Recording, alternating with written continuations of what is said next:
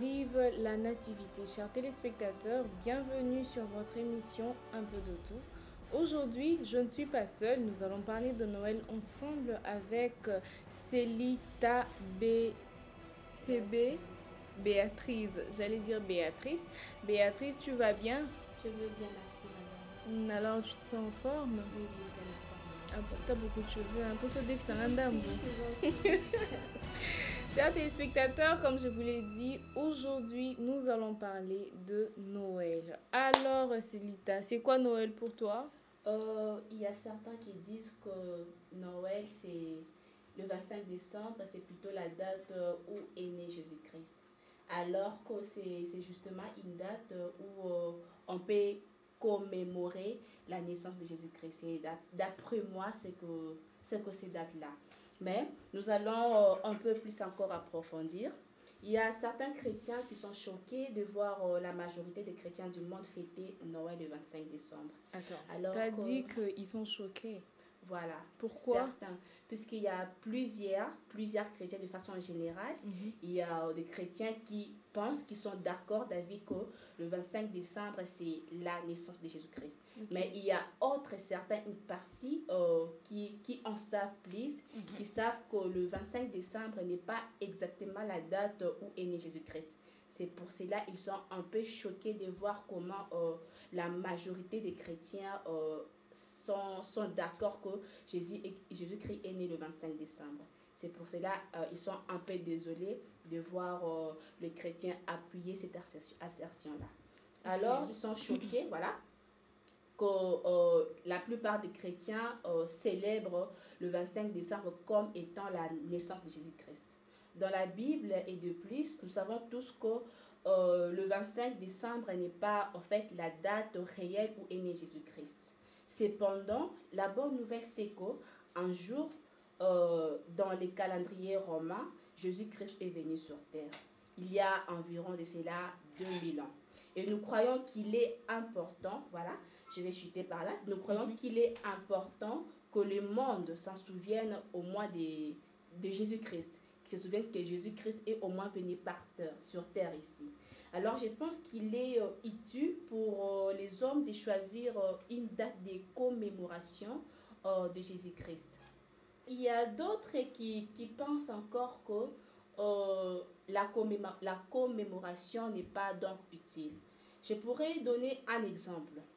Euh, prenons la date du, du 6 décembre qui correspond à la journée internationale de l'élimination des violences faites aux femmes. Mhm. Est-ce que cela veut dire que la date 6 euh, décembre est la date à laquelle la femme a été euh, premièrement, pour la première fois violée Je ne pense pas. Mhm. Mais ils ont juste opté cette euh, date-là pour euh, commémorer que non, à ces dates-là, ils vont euh, célébrer ou ils vont renoncer à la violence faite à la femme. Mhm. Prenons encore euh, la date du 1er décembre qui correspond à la journée mondiale du sida.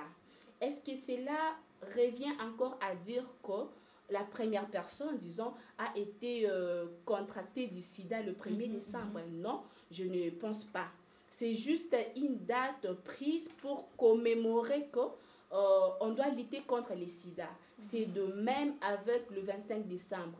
Elle n'est pas une date exacte où euh, Jésus-Christ est né, mais elle est justement une date adoptée pour célébrer la naissance ou la nativité de Jésus-Christ. Merci. Euh, merci beaucoup, Célita. En tout cas, chers téléspectateurs, Célita, euh, elle nous a parlé en long et en large. J'espère que vous n'êtes pas choqués. Au contraire, vous êtes contents d'apprendre que le 25 décembre, c'est une date au fait qu'un homme a décidé ou un groupe de personnes ont décidé de choisir pour commémorer la naissance du Christ.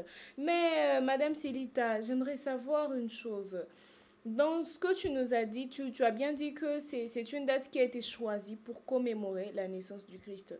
Ne pensez-vous pas que cette date-là, certains chrétiens vont dire que c'est le blasphème, vous êtes en train de diffamer, non? Euh, bon, je n'y crois pas.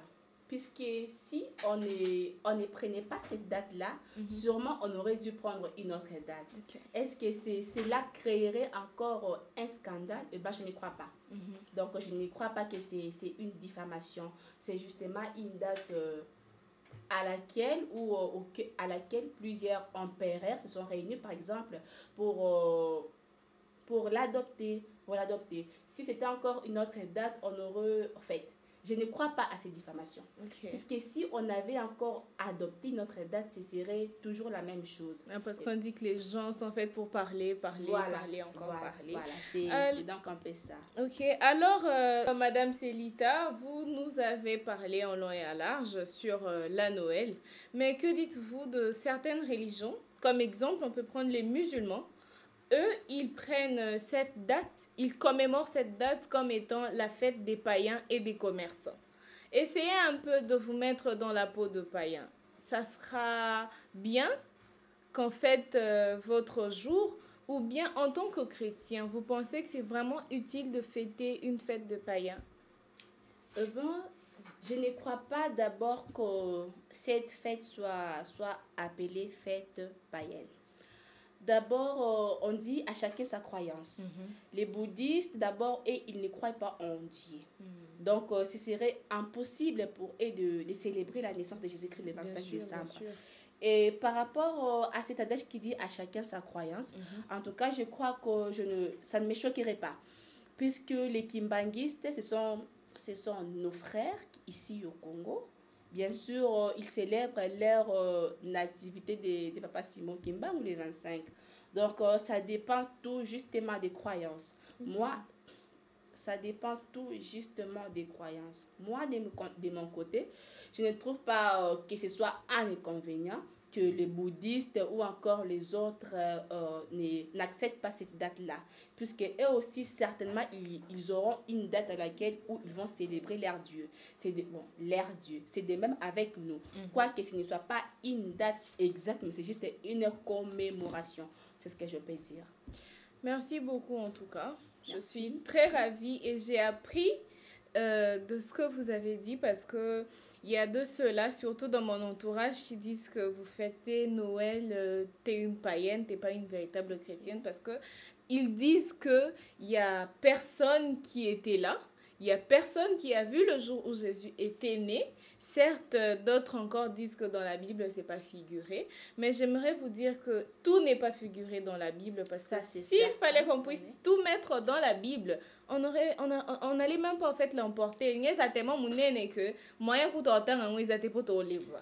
Bref, c'est ce qu'il faudra juste savoir, c'est que le 25 décembre, nous sommes d'avis avec vous que ce n'est pas en fait le jour où est, est né Jésus-Christ. Ça, nous sommes d'accord. Étant, étant chrétienne, oui, je suis d'accord que ce n'est pas une date euh, à laquelle est né Jésus-Christ, mais c'est juste une date de commémoration. Imaginez que nous avons réussi un grand sauveur ici sur terre, mais que mais qu'en aucun jour euh, des années que nous ne puissions en fait célébrer le jour où il est venu sur terre. Certainement, ce n'est pas une date réelle, mais c'est juste euh, une commémoration, c'est ce qu'on peut dire. Donc, nous commémorons la naissance de Jésus-Christ. Merci Célita, Madame Célita, merci, Merci en tout cas. Chers téléspectateurs, euh, nous allons vous dire que vous devez retenir la date du 25 décembre. Ce n'est pas une date où est né Jésus-Christ de Nazareth.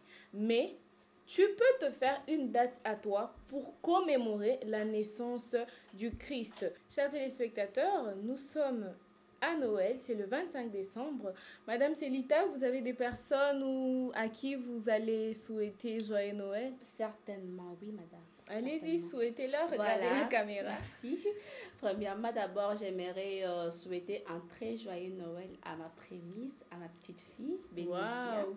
Et euh, à la grande famille Kitumba, euh, plus précisément à mon papa, Nico Kitumba. J'ai deux papas, vous pouvez imaginer. Waouh, Nico C'est une Kitumba grâce. et Bosco Kitumba. Sachez que de là où vous êtes, je vous aime énormément. C'est, c'est vraiment, en fait, l'œuvre de vos fruits que je, je me tiens debout. C'est à cause de vous que je suis là. Merci beaucoup. Chers téléspectateurs, euh, merci de nous suivre. Moi aussi, j'en profite pour souhaiter un très joyeux Noël à ma famille, la famille Kingwesi, ainsi que la famille Makiese. Joyeux Noël à tous et veillez fêter ce jour euh, avec beaucoup de joie et d'amour. Surtout, restez en famille parce que Noël, ça se fête en famille. Comme moi, après ici, je vais aller fêter avec ma famille.